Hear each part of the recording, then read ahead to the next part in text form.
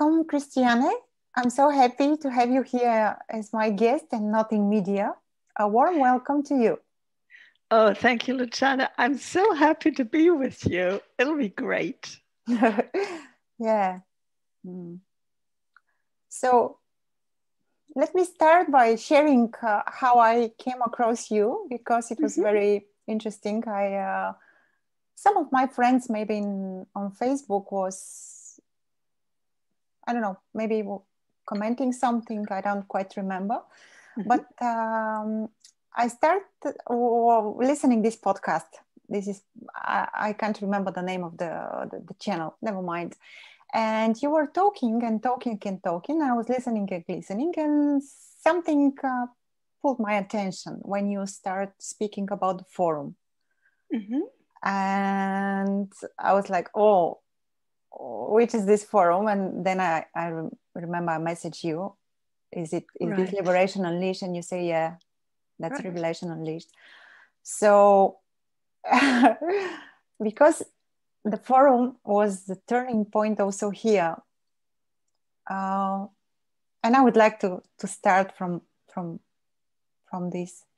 Maybe, maybe I, I should ask you, how did you, I don't know, how did you come across Liberation Unleashed and what's the story? Maybe a little bit about the story of Christiane before oh, yes, this, sure. if you don't so, mind. Yeah. Yeah, sure. So before I came across Liberation Unleashed, I'd been a spiritual seeker for 40 years. Wow. With 40. like 25, 26 years, I had decided that I wanted to know who I am.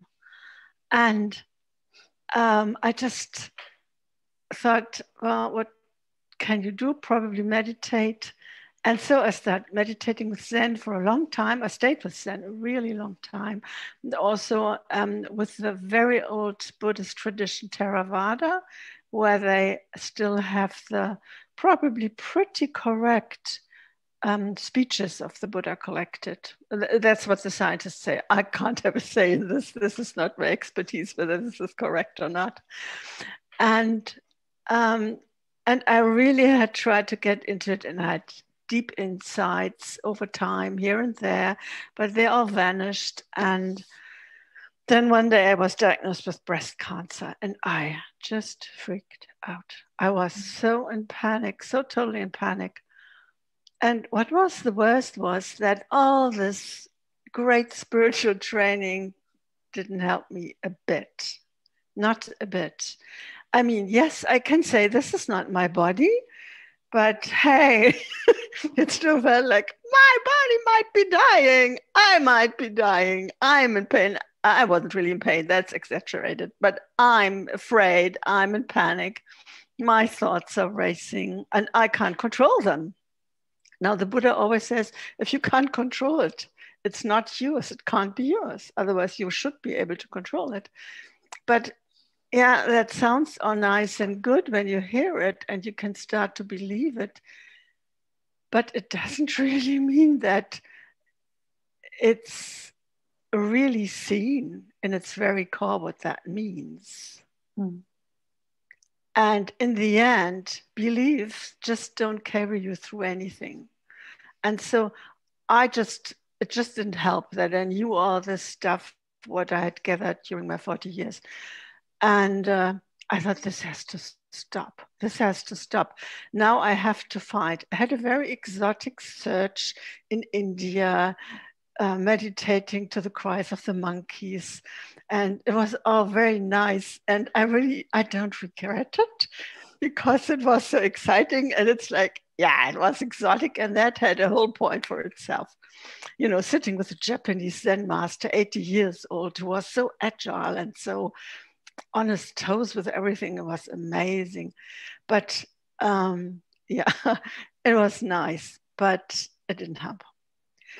And still in my hospital bed, I felt that I kind of turned my back to this exotic search and the exotic identity of being a searcher, a spiritual seeker, right? uh, it's a nice name, isn't it? Nice profession, lifelong. Yeah. It's a job you hardly ever you lose. 24 7. Mm. Right. And I thought I have to find now, but I had no idea how. Um, I had exhausted my means. I thought that I knew about everything that was out there in all kinds of directions where they looked into awakening, enlightenment, however they called it. But I didn't know where to look. So, uh, what can you do? Nothing.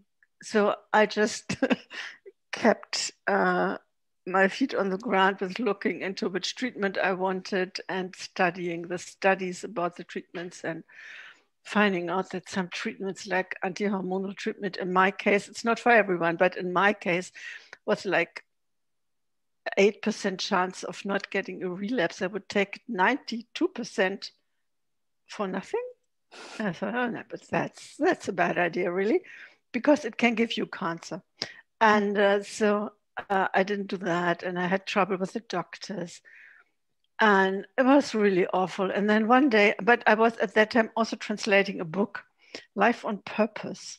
Wow. Yes, uh, it's, it's a really amazing book. If anybody wants to find their purpose, please do so before you find uh, that there is no I, because then the purpose doesn't make any sense any longer. But if you want to find it before that, this book, Life on Purpose, is mm. really good because it helps you find the inherited purpose, which we get from society, parents, and so on. And, and then you create your spiritually inspired purpose. Um, purpose is not like an Easter egg. You don't search for it and find it somewhere. Nobody has hidden it anywhere.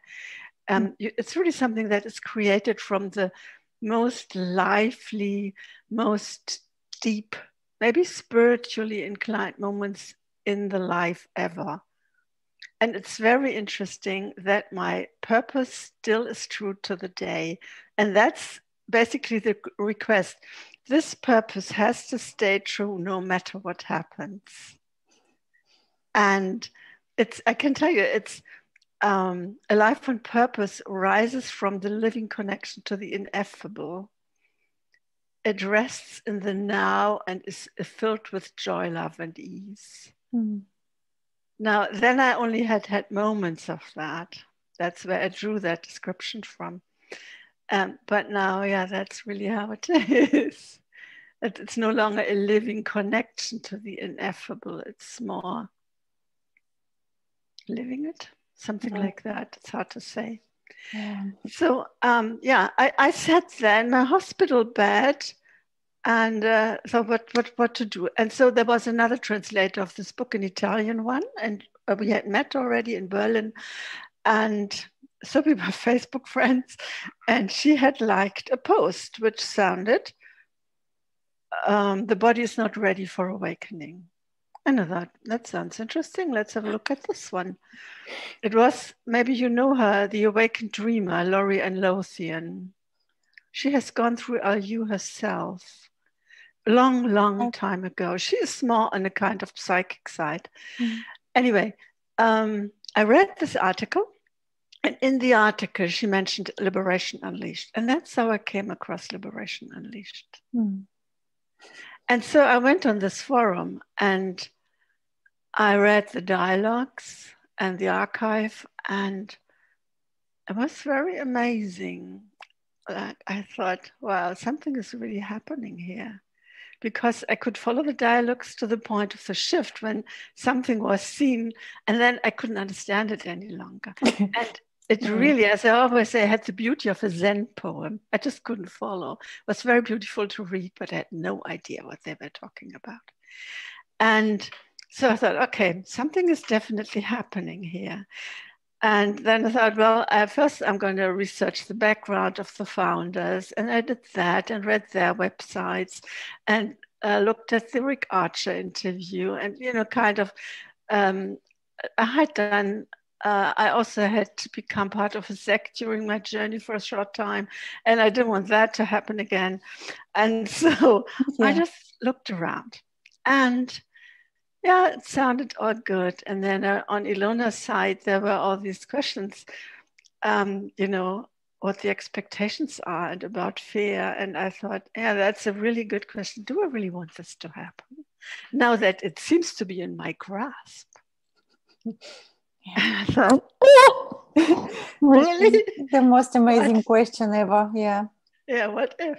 What if this really happens? I don't. I see that I don't have an eye on me, and then what? I, I mean, can I still drive a car? Mm. What about my partner? Um, can I still work? I still worked as a locum physician at that time, so I needed to keep my thoughts together for some time and to be able to do that. And I thought, oof, um, yes, um, I don't know. Well, um, but then I thought about it, and during my spiritual search, I had traveled a lot and lived in other countries with teachers. And uh, when I came back, I always had to start afresh, basically. And I was very skilled at that. And I thought, you started your life, I think, four times over. You can do it another time. And you've always fallen on your feet, even after the second business, which was really bad. Mm. So I thought, okay, yeah, I'll do it. And now my radiation was coming up, and I didn't know, oh, will I be able, I don't know how I'm going to take it. Will I be able to answer every day, which is yeah. a requirement on the forum? And I think it's very important. And so I thought, nah, maybe not. And so I just uh, bought the book on Amazon, uh, The Gateless Gatecrashers. Hmm. Oh, and uh, we are we have this book now translated in Bulgarian, you know, for the first oh, time. Oh, you do? Yeah. Wow. Hmm. Beautiful. Yeah.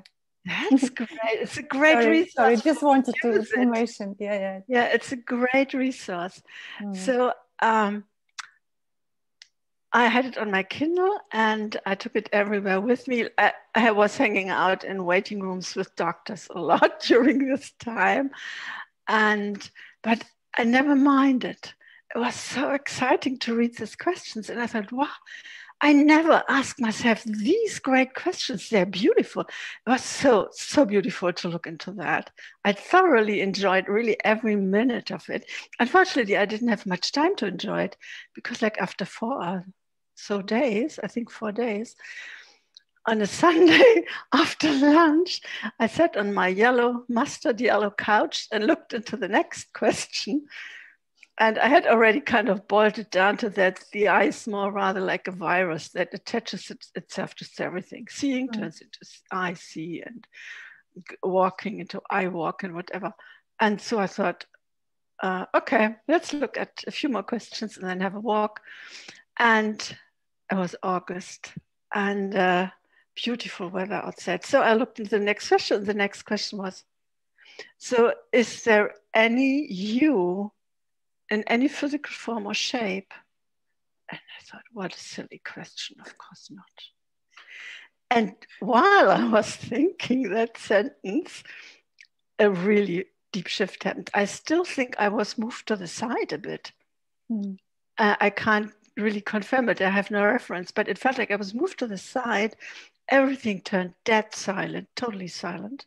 Mm and I saw clearly that there is no me, and also what I had done wrong, so I didn't see it because I mean it was right there. It wasn't really hard to see. And then, uh, yeah, I did a fist bump, and I, yeah, got it.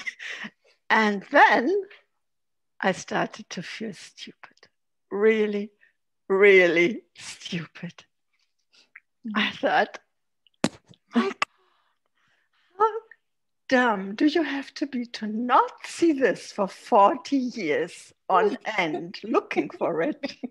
How can well, this be? it was also funny, right? Yeah. The, uh, but this feeling of stupidity really stayed with me. this was really dumb. so, yeah, this was how the self illusion fell away. Mm. And then I went outside, and uh, it was really a psychedelic experience. Mm. Like I walked out, and it was Sunday in Hamburg. Hamburg is a two million town, so there were lots of people outside in the park just next to where we lived, and uh, and to me, it was just clear there were all just forms and shapes moving. And I thought, oh, how am I ever going to relate to these folks again?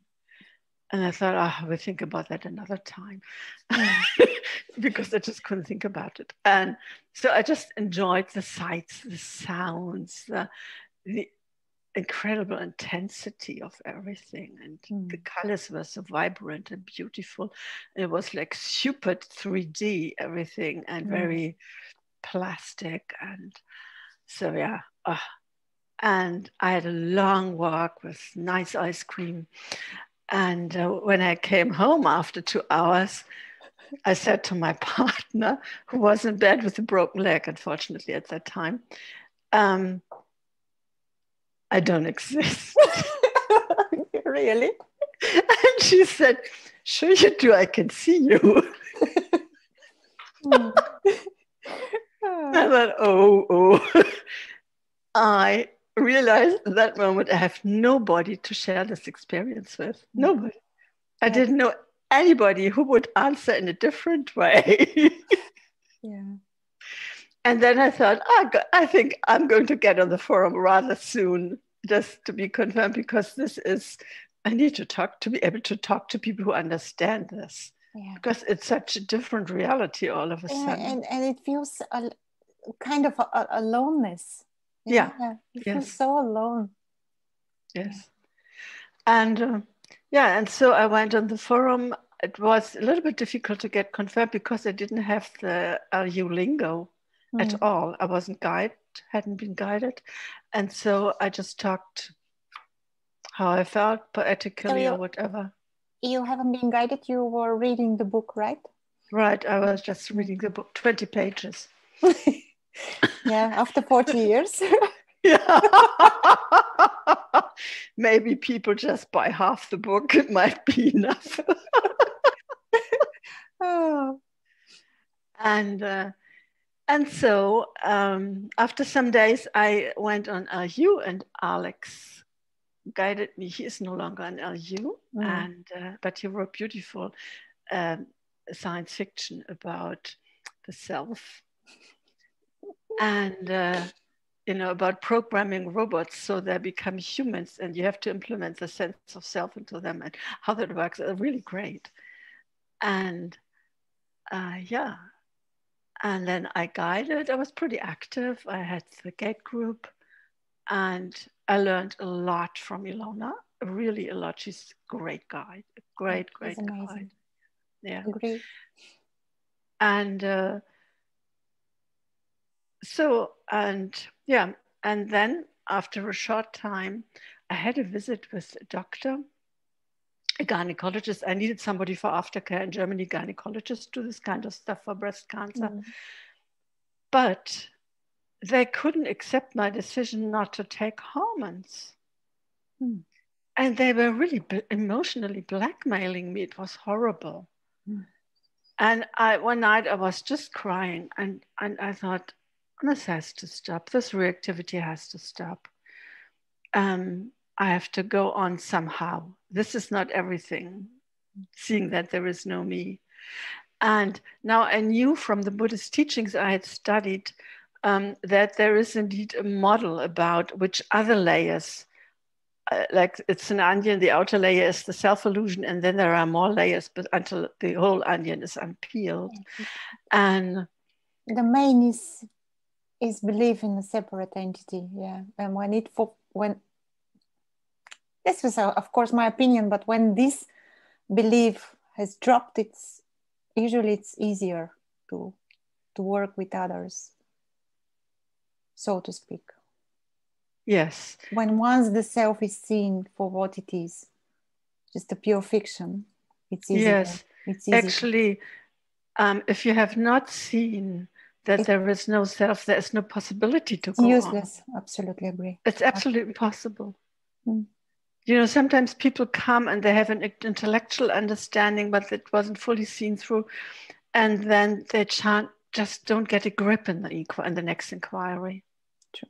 the self is such uh, uh, the self as the me as the agent is such a thick illusion. It's unbelievable Mm. And I don't guide in it any longer. I send all people to LU for that step because it's now five years that I don't experience any me whatsoever, not even the sense of being.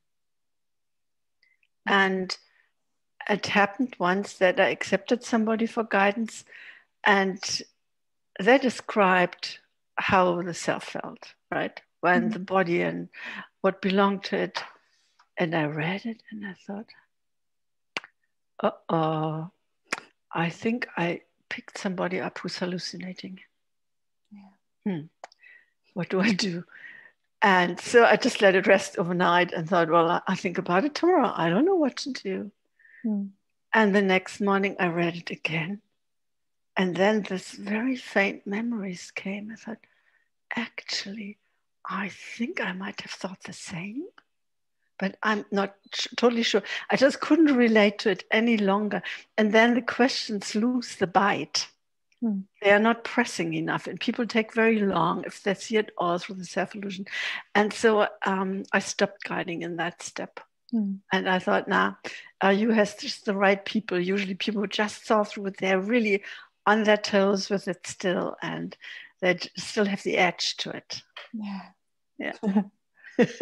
oh, that was beautiful, Christiane. Mm. Yeah. Hmm. So, what can I ask? What changes and what stays the same? Pardon me? What changes and what stays the same? Uh, with what? Let's say with life or relationship. Um, no, I or... mean, um, do you mean with seeing through the self illusion? Yeah. Okay. Yeah, basically, um, yeah, life stayed the same. Of course, there has never been in me.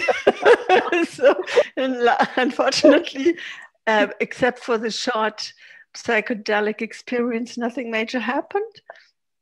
What happened was my memory became so bad nearly instantaneously. sorry, sorry, I'm laughing, but yeah. Um, it was unbelievable. I used to have a memory like a sticky tape. Everything that flew against it just stuck. I didn't have to put any effort into it, and all of a sudden it was gone. It was gone. Just was forgetting everything, and still do. My phone is my most precious companion with reminding me with its alarm function of everything. And I also have a paper calendar as a backup in case I lose my phone and I'm totally lost. And uh, so it's um, yes that was pretty bad. Mm. and translating was quite an ordeal then. I still had half the book to translate. So it was very interesting though because i could still do it. It was very very relaxed form of working mm. it was like really it was happening and and and the still the words the german words still came to me. And the ones who didn't which didn't come to me i just didn't know them. I had to look them up. Mm. and so it's like um, it still worked but it was very different. It needs to get used to it i think. It's a little it's a kind of more laid back life where there is no so much doing doing doing doing but more mm. relaxing into it's basically doing the non-doing as then it says it yeah yeah yeah. Mm. And otherwise, my relationship, well, my partner said, You're a much nicer person now, but that's not whom I married.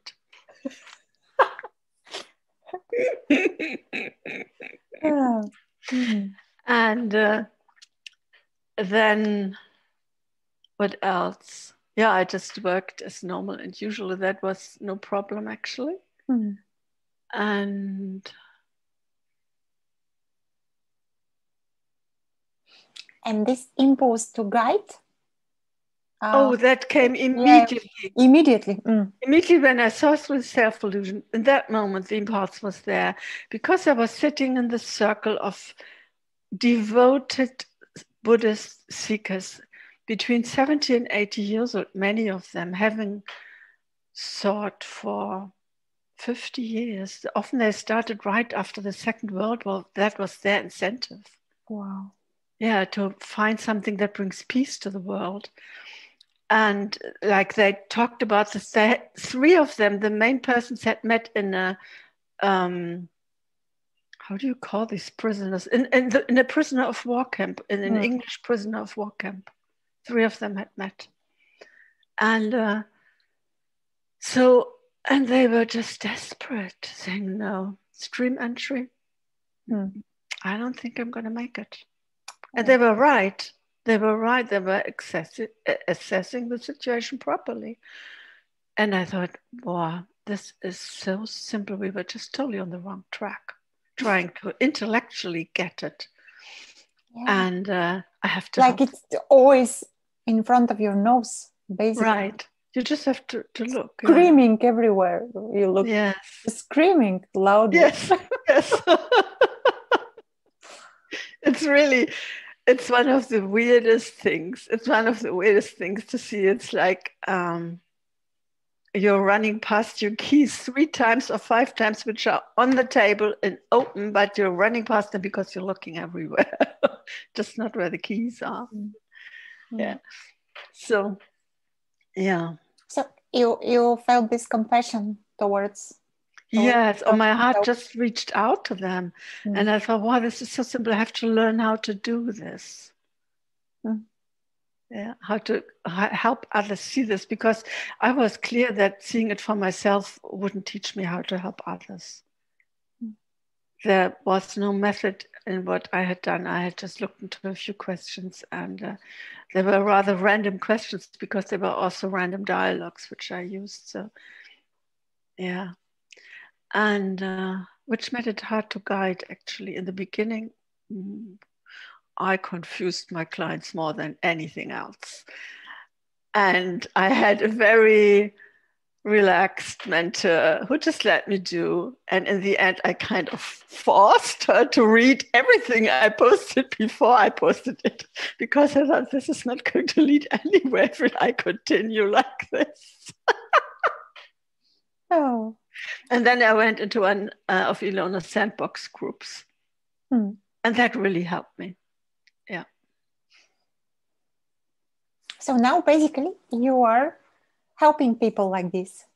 Right. This is what I do now. Oh, lovely. Can I'm you... now fully retired, and every morning I sit down and guide. Wow. Can you share a little bit more about this? I would like to I don't know, to say something to those who are still seeking because there are there are people. Uh, you know, you know this. Or yes. So I think what, what is really important to those. Pardon me. What would you say to those people? I would say. Um, obviously, if you're still seeking, what you've done up to now doesn't work. So just stop it for now. It's it didn't work. If you're not sure, try a little longer. But if you're sure it doesn't work, or you don't know anybody in this movement, whatever it is, who isn't clearly awakened on the path the teacher teaches, then just maybe assume that's a kind of statistic hmm. and and just look for something else um, by the way, there is very interesting research about um, whether you should stick to something that doesn't work or you should change it. Dr. Jeffrey Martin has done a lot of research, and it's actually better than to change it, even to change the method from, like, I don't know, from Tibetan Buddhism to Theravada Buddhism, or from Zen. I went from Zen to Theravada, or from uh, try non duality, whatever. Just try and see whether anything resonates. That's the best thing to do. Mm. And uh, uh, maybe you find awakening that way. Some people do. It's possible. It's rare, but it's possible.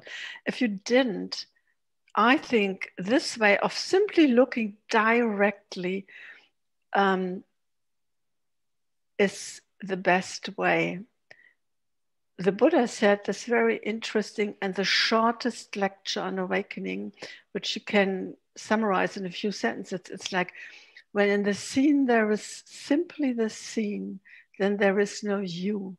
And when there is no you, there is no you here, yonder, or between. This, just this, is the end of suffering. And end of suffering is synonymous with awakening. Now, seeing through self illusion is not awakening. It's the first step and the crucial step to awakening. But there are still some self layers like the, and they are not about what we are, but what we think we have. The, for example, the belief we have something like wanting and not wanting that makes us react. Mm. When that step is seen through, reactivity ceases, and it's the most beautiful experience. Yeah, because then, you know, I thought, gosh, I hadn't known contentment all my life. I didn't know what contentment was, you know, independent of the circumstances. Mm.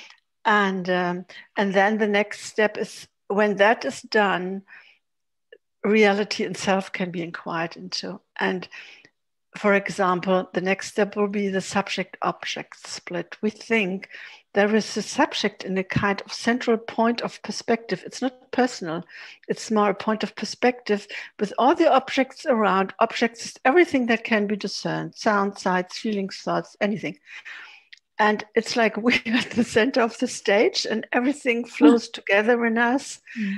and uh, acts around us and um, when the and is also separated from us through boundaries, firm boundaries. When the subject is seen through that there is no subject, all boundaries disappear.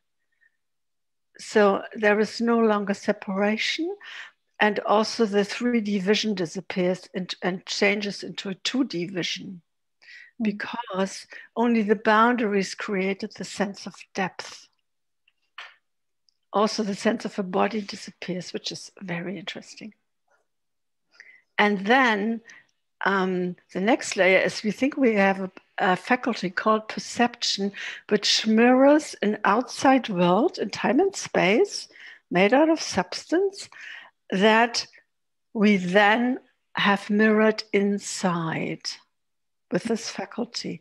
And we look for the faculty of perception. This is a very subtle inquiry, but with each level, the subtleties are adjusted to. So it's not something you have to learn. You simply adjust with each level.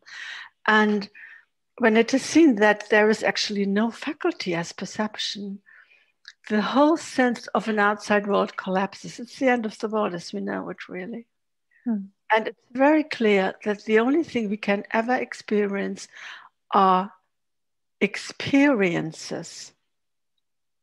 And we cannot know whether this is an outside world that is mirrored. Like a bee will experience differently, so will your dog or your cat.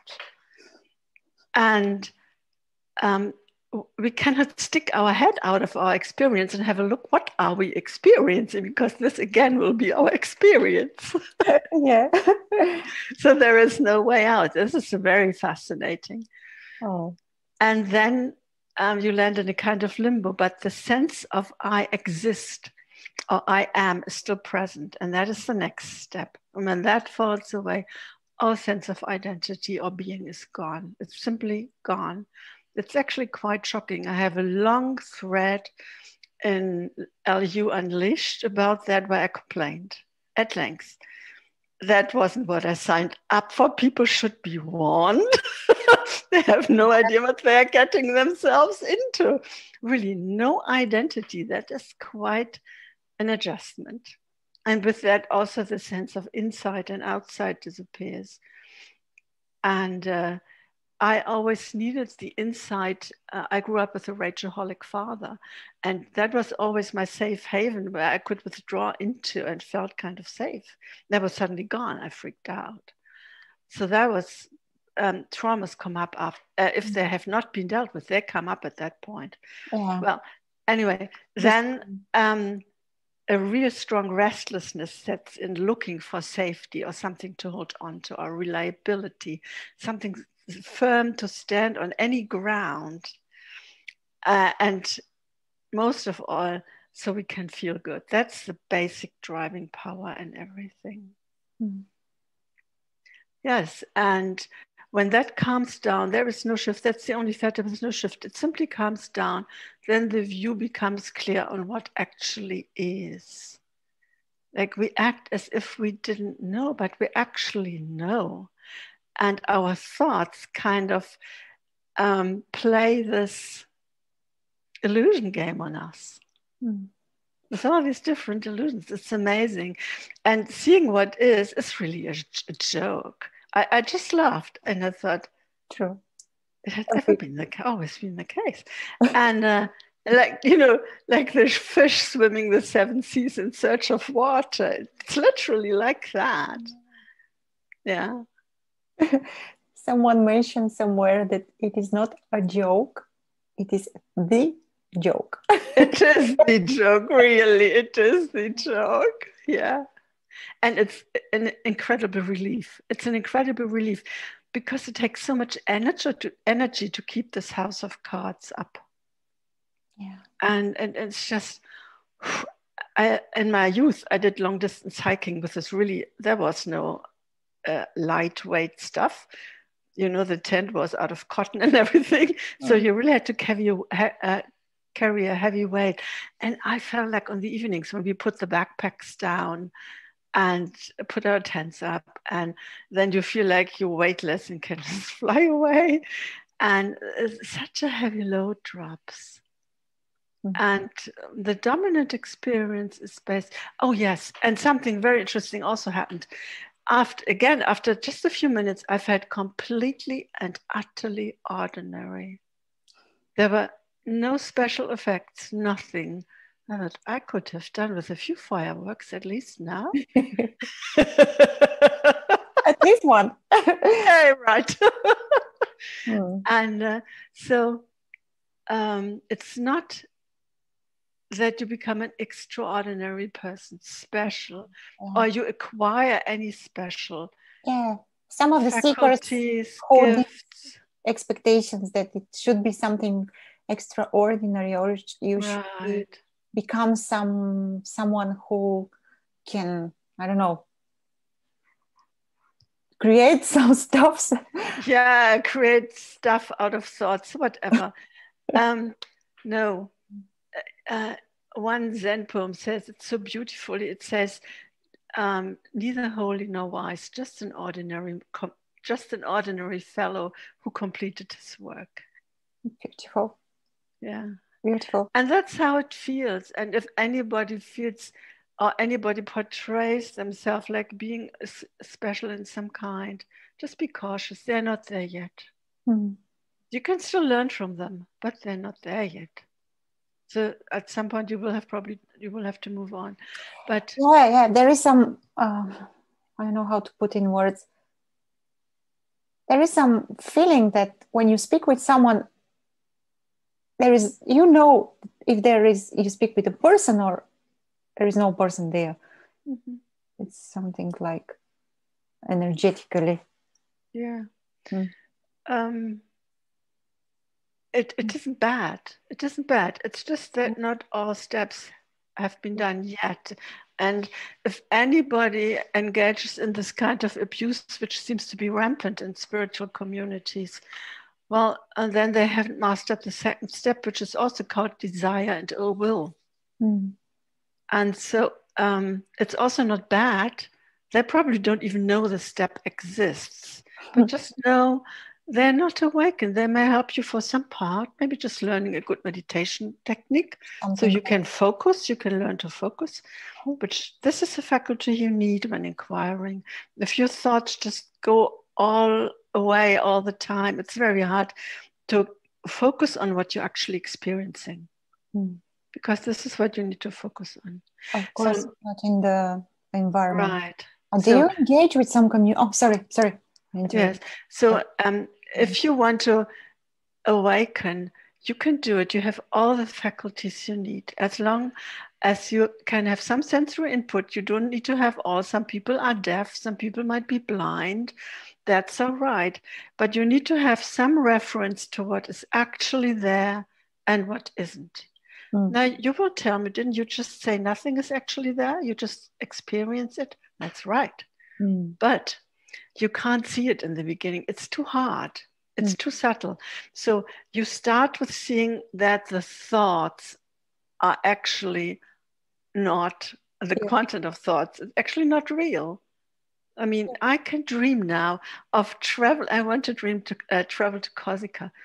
Um, so and I have a mini camper outside which I just built, but I can't drive more than 15 kilometers. We're in a strict lockdown, and uh, our numbers are skyrocketing right now.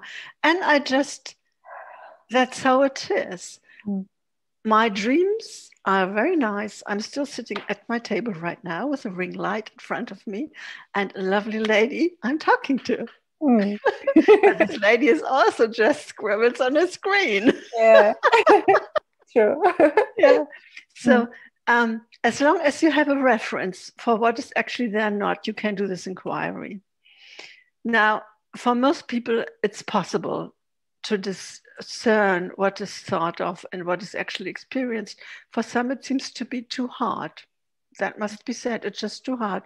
You will find out. It doesn't harm when you do the inquiry. You will find out if it's too hard and you feel like, boy, I, I don't get what they mean. And it, you know, you do it for six months, a year or so, then maybe this is not your path. Yeah, and again, then this is not your path. Not for everyone. Yeah, yeah. You should get the feeling that you get a grip in the inquiry. And for I, I think, and most people who are successful think it's great to work with the questions. They find them exciting. You need to have curiosity, real curiosity. Yeah. Now, when you mentioned, yeah, I remember that I was so excited in the beginning that I was literally uh, speaking to all my friends, but you should subscribe in this forum. why, yeah. Why do you sit and listening all these satsangs and singing mantras? Stop it. It's bullshit. but no one cares, you know, no one cares. Right. And I just stopped. yeah. Because what to do? Yeah. What I do? already had a website about Buddhism. That was my retirement project. And um, yeah, so I, t- I totally had to change the content now, right? Mm. I still have the old blog posts up, but I think now I will delete I can them. imagine. I can imagine. I would I would like to ask you: Do you engage with some communities now, or I don't know? Do you still have some favorite uh, teachers or speakers or someone who inspire you? I don't know something. Can you share? Yes. So um, I like to engage with people who are very honest about their experience. And because it's actually not all roses, um, what is seen can be quite shocking. Mm. And I also had some experience where I thought I was going, I, I, I was actually sure I had gone mad. Mm. And uh, so the, um, I'm writing a book right now, and it'll be hmm. all in there. It should oh. come out in fall, yes. Great. And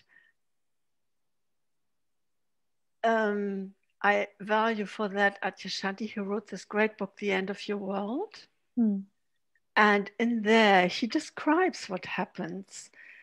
Um, even if, you know, he calls it um, non persistent awakening. Even if the awakening is not persistent, so that means it was a deep insight. It wasn't awakening. It a real awakening itself doesn't come and go. It's mm-hmm. there or it's not there, uh, but it doesn't come and go. Um, but like this brain fog, not being able to memorize things any longer, the changes in feelings, like the feelings become much more subtle. And after the last sense of I am dropped away, I thought, gosh, I don't have any feelings any longer. Pooh. Wow. And then my guide said, calm down. That's much, much more subtle. They come back. You'll, you'll be able to adjust to that. Mm. And it's true now for me, it's just, yeah, they are no longer like this exuberant um, thought echoed stuff. Um, but uh, I still value beauty or the fresh green right now. It's so beautiful, or the first flowers that come out. Um, but it's very different. It's much calmer. Mm. In uh, Buddhism, awakening is nibbana or nirvana in Sanskrit, and literally means an, a, a, fire extinguished. They still say that in some countries, like the kitchen fire is nibbana. Yeah. And uh, it's it's a really extinguishing of this fire of liking and not liking and pushing and pulling at experience yeah. all the time. That yeah, it's totally goes away. Yeah and uh, and it's much much calmer mm. and this i remember that day um, i hugged my partner and my thoughts, oh this is beautiful and i thought wait do you need to tell me? And then i thought this is very interesting. Let's have a look what's actually happening. Mm-hmm. why do thoughts have to tell me this is beautiful? And when I then noticed that, I noticed that really the thoughts are like, you know, the synthesizer of a band, um, giving echo and more volume to what's happening or toning it down or something. Anyway, it's highly manipulated what we experience, and the thoughts are great at that. So, um, yeah, all this comment is commentary is no longer so dominant if it's there at all. Mm. And it can be pretty quiet. And it's just, um, how do I say, it just is. Yeah. Yeah. But um, these experiences, also there are Kundalini phenomena I experienced, like I started to shake. And I didn't know what that was. I had no idea whatsoever, no reference point. I'm a physician. I thought, oh, this might be the first case of late onset Huntington's chorea. This is a disease, an inherited disease, which uh, hits you usually by 40. there you have all these random movements. Mm-hmm. And uh, it's called devil's dance uh, and among the lay population. And I thought, maybe I have that. But then I found online some resources and people to talk to, and a woman, Bonnie Greenwell, who has researched into this phenomenon for th- over 30 years. And she wrote her dissertation on it and everything. And she really calmed me down and said, Nana, this is just the energy moving. It helps you to integrate everything. It removes blockages. don't worry. free to move and it moves. Right. Don't worry. Just give it time. Lay down twice a day and let it move your body as it wants to. And uh, and that really calmed it down a lot during the day. Like I had hard time driving mm. because my arms would move, for example. Um, but yeah, there are phenomena that can be very strange. And if something like that happens to you, just reach out to people. There are always people. Um, I don't know how it happens, but there will be people around who can help you. Hmm. And we have the internet now, it's so easy. Or like when I thought I've gone mad, I thought, what am I going to do now? I can't go to a shrink and say, I did the stuff with awakening and now I'm mad. I'm walking within myself like in a computer game. And uh, so I thought, oh, what do I do? And then I remembered somebody, a Danish guide, who had, he's no longer guiding either, and he had had a very rough, deep awakening. And like he couldn't speak for weeks. His wife had to feed him, oh. to wipe his tears, to lead him through the garden. She was a, a Thai woman and she had some reference. And so she lit a few more candles in the temple and she wasn't worried. And she, she kind of grasped that this was on the path of awakening somehow and the Buddha would manage it. And uh, so this was very, very beautiful. And I thought he experienced really something disturbing he'll be able to help me. And so I contacted him, and he was. He just gave me a very, very grounding routine, and I followed it to the T, and it put me straight within a week. Mm. Um, and, and, and these people are around. It's amazing how many people have had this experience once you come in these kind of communities yeah. uh, where they are around, you know. And yeah. these communities are important and uh, it's yeah, so good that, that the internet exists. Yeah, true. Do you engage with some communities now? Well, I have my own community. Mm. I'm still in contact with many LU people. I love it. And uh, I also have, I like to engage also with the non dual community. Mm. And right now I'm in a very special project, and that is uh, looking into the connection of what happens to trauma upon awakening, because some of our people had a really rough time when traumas came up they didn't even know about.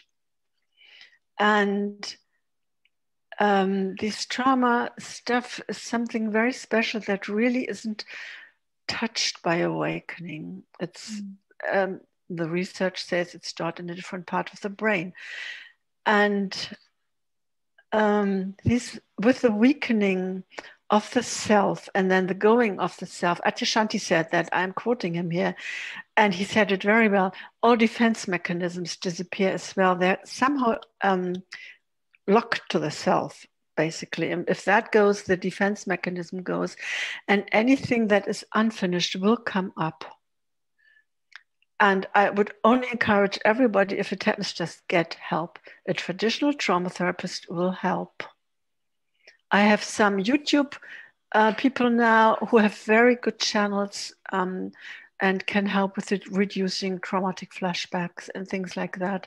Oh, so, um, yeah, because yeah, and I'm also in contact with somebody who has this as a main focus of his whole work.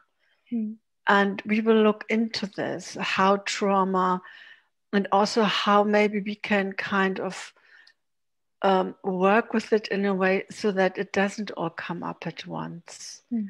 which can really be a lot. I mean, by then, you're very well used to dealing with all kinds of feelings because they already come up along the way. You know, when looking into desire and overall, all the old issues come up from the past and um, it's a longer thing. And uh, the main thing is to learn to be with whatever is. And it's very empowering. I remember when I learned to really be with any kind of feeling, I felt so strong. I felt like, yeah, this is really great. I can just be with any feeling, no problem. yeah. Yeah. So um, don't be afraid. Uh, it's necessary and it will come up, and it's not easy. It's certainly not easy. But then just reach out for help and often just somebody else sharing and saying, Yeah, this is really tough, um, is good. Hmm. If trauma can is in the way, it can be in the way of awakening. Like in the first fetter, you would feel it if you're so afraid of losing control if you're so afraid of losing control, it might be an old trauma. Because um, when we're traumatized, we will develop our own fantasy of how we are still in control. Like with my rageaholic father, I would very carefully watch him all the time and learned very well to read the cues when he was on the brink mm. and just disappear, yeah. go away, get out of the way, uh, out of Storm's way. And, um, and that gave a sense of control.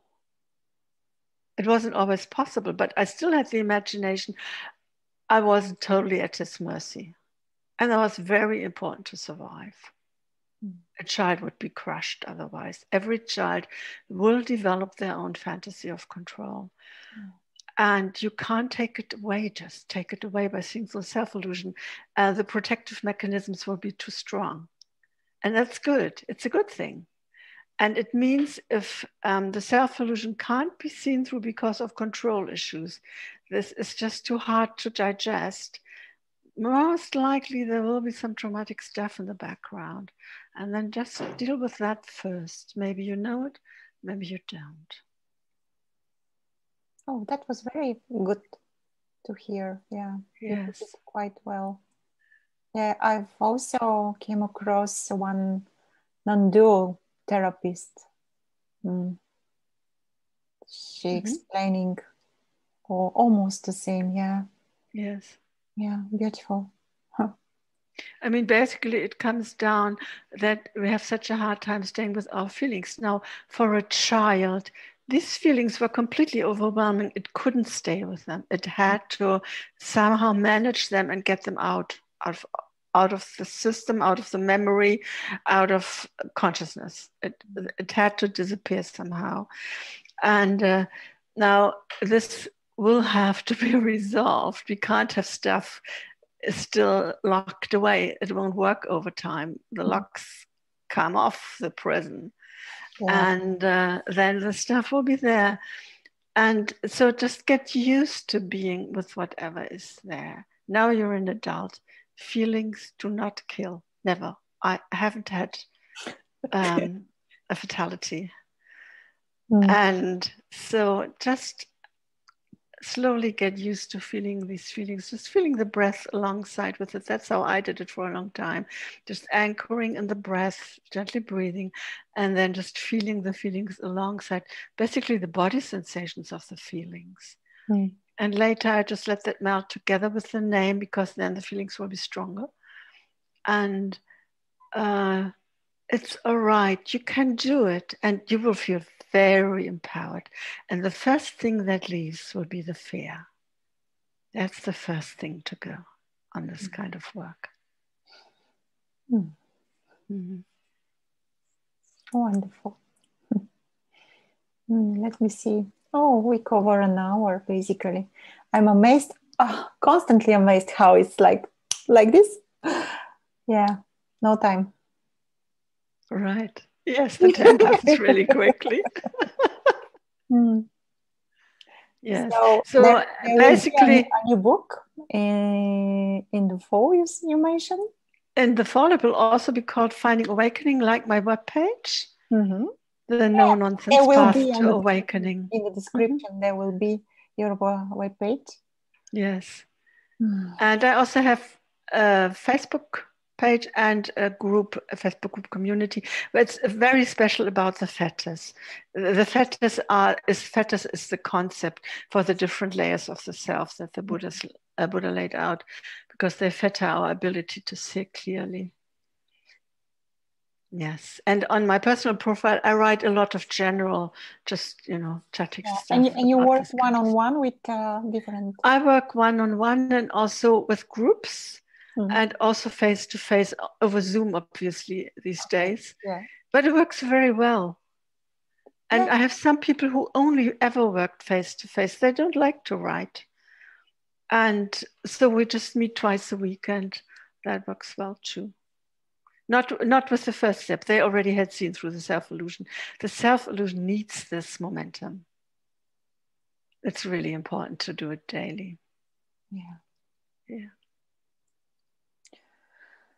Okay. Thank you so, so, so much. It was Thank lovely you. To, to speak with you, really. I really appreciate I'm Thank you to, so much. I'm going to stop the recording.